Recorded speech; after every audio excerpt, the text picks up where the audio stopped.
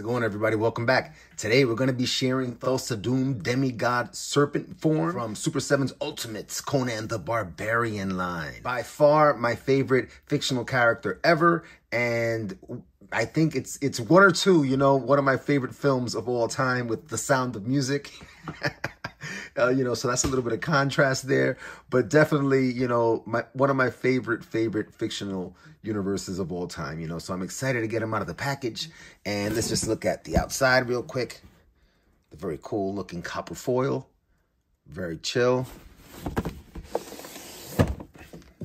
and there we have Thulsa Doom, the demigod himself. Let's get him out of the package. Oh wait, wait, wait, wait. Quick look at the back. There we go. Super cool. Love that medallion or that emblem. Very nice. All right, let's get it out of the package. All right, let's check out Thulsa Doom. With his accessories, a quick close look. And that is one really nice looking snake arrow great detail. I mean, this thing is super tiny and super thin. The bow is definitely one of the best bows I've seen in the 112 scale. In terms of the way it's designed, this is somewhat pliable, so there's give there. That's great. And this plastic, this elastic string, it's like the fabric on the outside with the elastic cord on the inside. And when you pull it, see how the bow gives? Really nice, very cool. Hear the sound? Very, very cool combo. In the movie, Thulsa Doom draws the, the arrow with the snake head facing forward. I'm almost 100% on that. I literally just saw the movie and I can't remember for, for like 100%, but I'm 99.9% sure. Uh, and he draws it this way and it hits Valeria. Um, here, he doesn't have a hand with a gap between fingers where he could kind of like hold it in a pose to draw. Uh, so, you know, that's kind of like a little note there.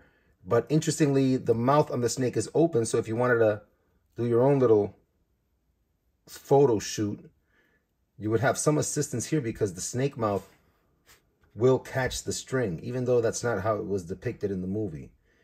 Um, so just a little cool little note on that. The serpent dagger. And this thing is really nice, cool metallic sheen. Great detail there on those two serpent heads. The head portraits, it's kind of like an intermittent snake head form.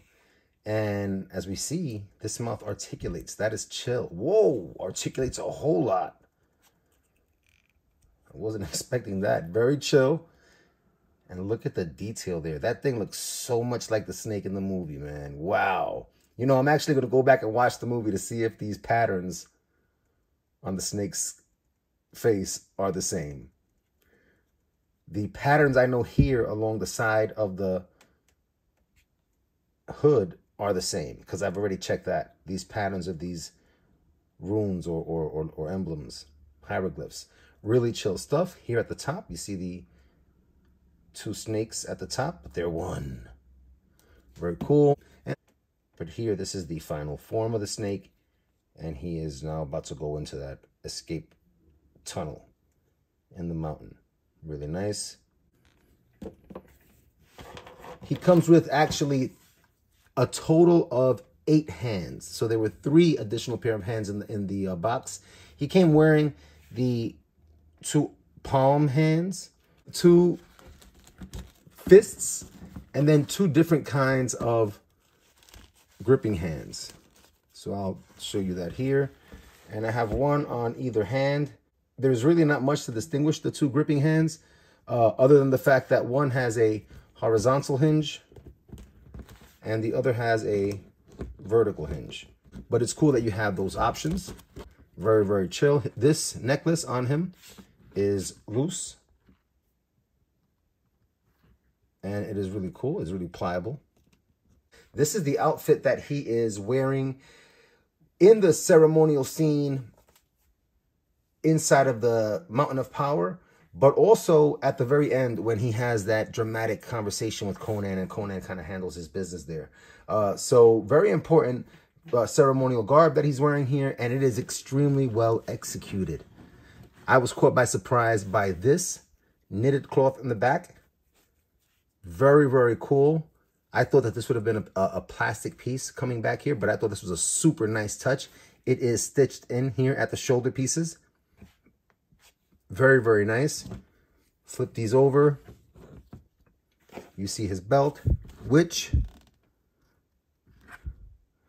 has a pin that seems to be removable.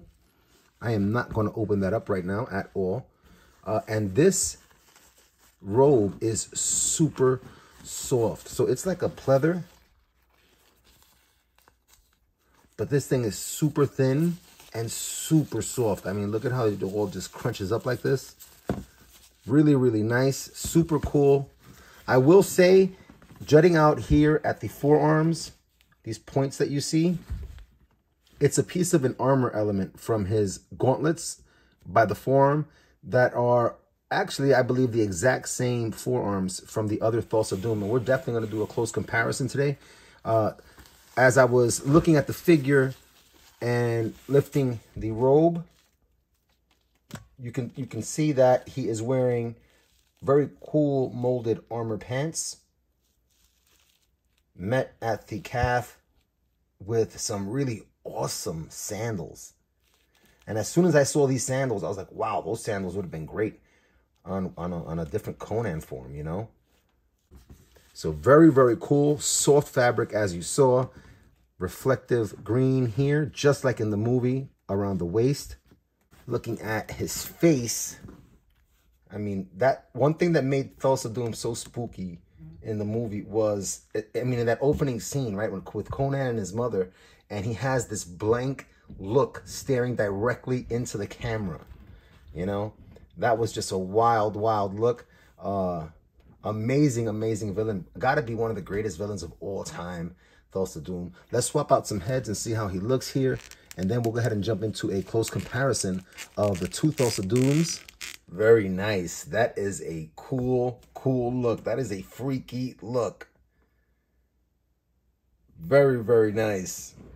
The other more complete form is actually not a head portrait at all. You can't attach it. I guess it's just intended to be more of a dio piece in the background where he is kind of like heading off into that tunnel. Awesome, awesome, awesome. Super cool. All right, let's take a look at articulation. In the head, we know that the jaw on this one will articulate, but it, there is no movement, no wobble, no rotation or anything. I will swap out, but because of the hood all around the head, you're not going to get any wobble. You will get some left and right, but you will not get easy full rotation. In terms of up and down, you're not going to get much. A little bit. The arms, let me give you a full 90. You do have the upper bicep swivel, almost 90 degrees at the elbows. Your arms will go all the way up with rotation. Does he have a crunch? Yep, you do have some crunch. Very cool. You do have your rotation at the waist, but because the robe is all one piece, careful moving that as you see that it bunches as I hold it and twist it. The legs are going to give you a great split, as Ultimates always do. Not bad. Those are some great looking sandaled feet, man. and then forward about that much. And you will get 90 at the knee. You'll get some great movement with the ankle. Very nice. I really like those sandaled feet, man. He's leaning back a little bit, watching TV maybe. uh, but not too bad. If he had a mount, hint, hint, Super 7. If he had a mount, he could totally, excellent stuff. Because he did have the mount, the mount that he rode into the uh, the battle scene where he, you know, he shot at the daughter of King Osric right? There's that scene with him on the horse, certainly. So that would be a nice set to have. And there is also a great scene with Conan on a mount as he is searching around and asking questions about the cult of Set. So, you know, that would be two comparative nice sets. That sounds like a great wave to me, you know? Two figures uh, and two mounts. So heck yeah. So let's go ahead and get the first Thulsa Doom mount and get them side by side. Immediately, you can tell these are both the likeness of James Earl Jones, but the flesh tones that they have here for the plastics are very, very different. That could be because of the shot that they used in the movie. Maybe the lighting was different and in the matching with the plastics. That's why we have that difference there. It could also just be a lack of oversight somewhere. Who knows? But either way, both likenesses are definitely James Earl Jones. And if you look closely, you can tell that it's not the exact same mold for both head portraits. So that's cool too, you know, that you have that uniqueness in either case. Um, very, very nice. This Thulsa Doom has gorgeous, gorgeous uh, sculpt work and, and molding here on the armor of his chest plate. And that really sets him apart. He also has that beautifully sculpted pauldron with the snake on either side. You see his ornate gauntlets with the snakes there also. And I point that out because on the new release, we seem to have the same buck minus this armor plate here for the chest because I don't feel it underneath the robes.